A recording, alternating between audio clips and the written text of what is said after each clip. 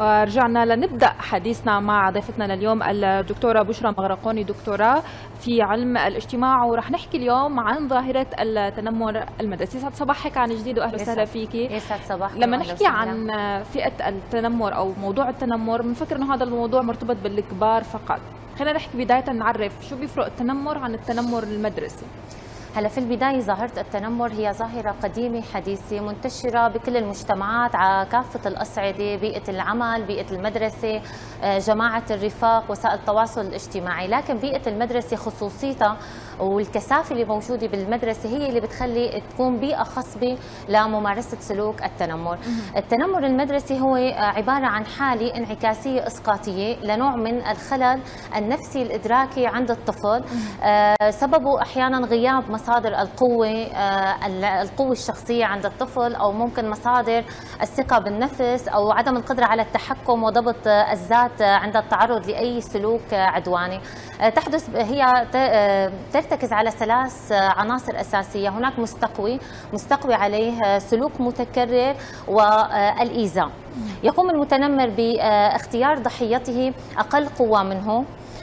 تكون لديها عيب أو صفة معينة تميزها عن غيرها من آه، من زملائه في المدرسة. يلاحقها باستمرار لا يتعاطف معها يحاول أذيته سواء في باحة المدرسة في الغرفة الصفية. القدرة على ممارسة التنمر المدرسي أكبر من القدرة من ممارسة التنمر في المجالات الأخرى. تمام. يعني آه، هلا نحن هيك بس شوي خلينا نسهل الموضوع بين الناس ونحكي. نحن كيف فينا بالبيت ما نقرب على شيء اسمه نقد آه، شيء اسمه كلمات آه، مو بمحلها. إن كان للطفل إن كان من قبل الأب للأم والأم للأب أو إن كانت للأطفال أو إن كانت لل حتى الدائرة الابعد يمكن بالجو المحيط بالطفل. هون آه، إنشاء هذا الطفل تماما. حتى هو أول شيء يدافع عن حاله إذا حدا تنمر عليه. ثاني شيء إنه هو ما يتنمر على تماما. حدا. باعتبار إن التنمر هناك عبارة عن ميزان متنمر وضحية فالعلاج يبدأ بالتنمر والضحية. الأسباب كما تفضلت الأسباب الأسرية هي الأسباب الأساسية التنشئة الأسرية في المنزل هي الأساسية آه، لعدم إنشاء طفل آه، متنمر أو طفل ضحية تنمر. عندما ينحدر الطالب من بيئة أسرية تعاني من تسلط الأب على الأم أو تعاني من خلافات أسرية كبيرة أو مشاكل أسرية بين الأب والأم العنف بين الأخوة آه، التدليل أو مثلا في جانب آخر التحصين المفرط للطفل والتدليل المفرط للطفل آه، يؤدي إلى آه، وضعه إما ضحية تنمر أو متنمر حسب طريقة التنشئة الأسرية. ينعكس هذا هذا السلوك كله في المدرسة.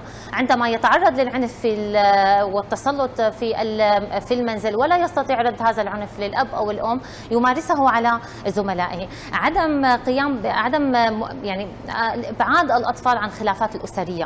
محاولة أن يكون الطفل بعيد جدا عن الخلافات بين الأب والأم آه، بهذه الفترة تراجع دور الأب والأم في التربية. السبب هو الانشغال لفترات طويلة خارج المنزل في العمل آه، لتأمين متطلبات الحياة عدم التواصل بشكل مباشر مع الطفل. أنا لاحمي طفلي من التنمر ضمن المدرسة. أبدأ من المنزل. آه، أعزز ثقته في نفسه. أركز على مصادر قوته. أنمي المهارات الحياتية لديه. عندما أجد أن طفلي ضحية تنمر هناك علامات تدل على التنمر آه، لدى الأطفال.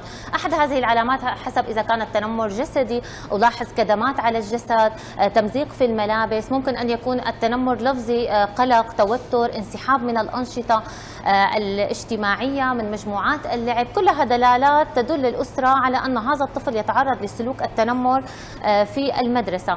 آه، ممكن عدم الرغبة في الذهاب إلى المدرسة. تصبح بيئة المدرسة بيئة غير آمنة غير محببة للطفل. ينسحب منها تدريجيا يتراجع تحصيله الدراسي. هنا أنا لاحظت العلامات على الطفل على أنه ضحية تنمر.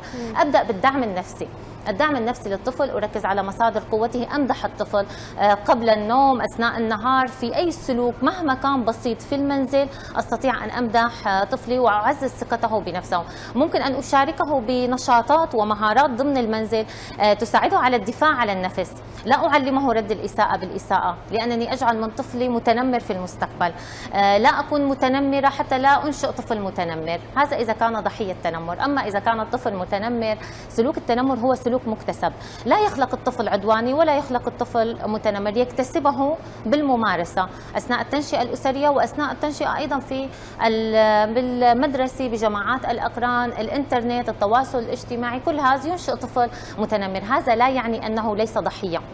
الطفل المتنمر أيضا هو ضحية آه، ظروف أسرية ظروف اجتماعية عائلية مرت به أدت به لأن يصل إلى هذه الحال ويصبح متنمر.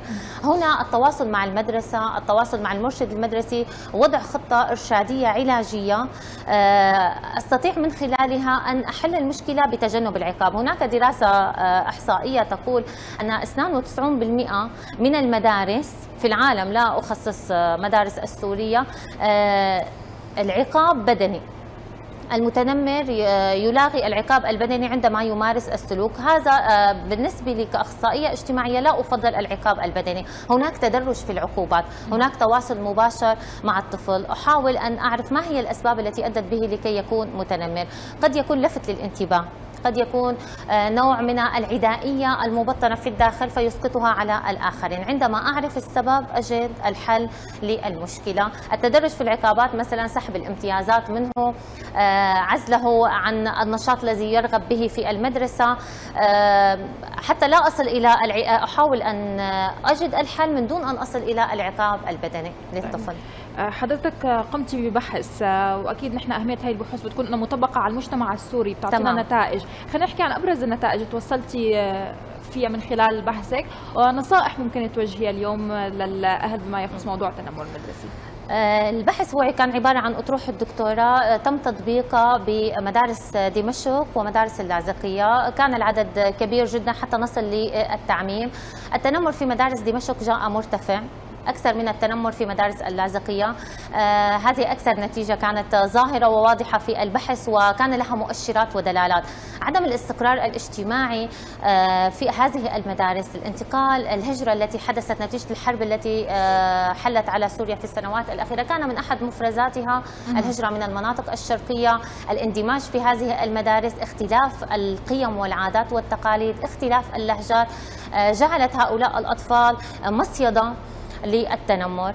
آه، الأطروحة آه، كانت عبارة عن دور للمهارات الاجتماعية في آه، إبعاد الطفل أو إكسابه المهارة حتى لا يكون متنمر ولا ضحية تنمر.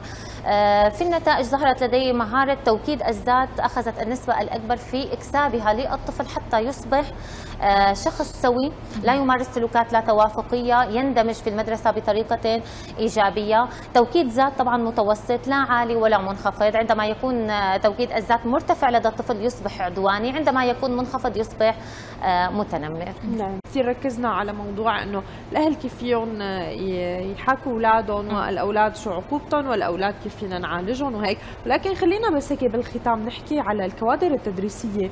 ممكن كثير كمان تتنمر على الأطفال آه، وهذا الشيء هو ينزرع جواتهم أو يشكل عندهم حالة وحاجز بشع. اليوم ضمن كوادرنا نحن كيف كيف فينا نحمي أولادنا؟ إنه أنت أنت معنك شاطر ارجع لورا. أنت عد ورا أنت كسلان أنت طلع برات الصف. يعني في حالات كثير عم يتنمروا الكوادر التدريسية أكيد. على الأطفال. صح. كيف في الطفل يصدى وما يتأثر نفسيا؟ كيف فينا آه، نساعده حسب المرحلة العمرية يستطيع الطفل التصدي. أرجع وأقول الأهل عندما يوصون الطفل بالحديث كل ما يحصل معه بالمدرسة للأم هذه صلة التواصل بين الأم والطفل تسهم في الحد من هذه السلوكات عندما يخبرني أن المدرسة آه، تحدثت معه بألفاظ نابية. أو قامت بالتنمر عليه بطريقة معينة. هنا التواصل مع المدرسة ضروري لكن الكوادر التدريسية أو المدرسة بيئة المدرسة الإدارة المدرسية آه، هناك سلطات مختلفة. قد تكون سلطة دكتاتورية آه، تعامل آه، متبعة أسلوب العنف والعقاب البدني والعصا لمن عصى فتنشئ جيل عنيف متنمر فيما بينهم البين. لكن هنا لابد من تفعيل دور المرشد المدرسي في المدرسة سواء بالمرشد المرشد الاجتماعي. في الحلقة الأولى والمرشد النفسي في الحلقة الثانية من خلال البرامج الإرشادية حصص التوجيه الجمعي لقاء أو اجتماع في بداية العام الدراسي مع الكادر الإداري والتدريسي توجيههم لكيفية التعامل مع المرحلة العمرية التي هم مدرسين فيها سواء كانت مرحلة المراهقة أو مرحلة الطفولة المبكرة. التعويل الأكبر على دور المرشد المدرسي في وضع الخطط الإرشادية والبرامج الإرشادية للحد من هذه السلوكيات في المدارس. والحوار بين الأبناء والأهل هو اهم هو اهم أهم, أهم شيء. تماما التواصل. شكرا كثير لك دكتورة شرفتينا. تسلموا الله يخليك دكتورة بشرى مغرقوني دكتورة في علم النفس شكرا كثير لوجودك معنا. أهلا وسهلا شكرا.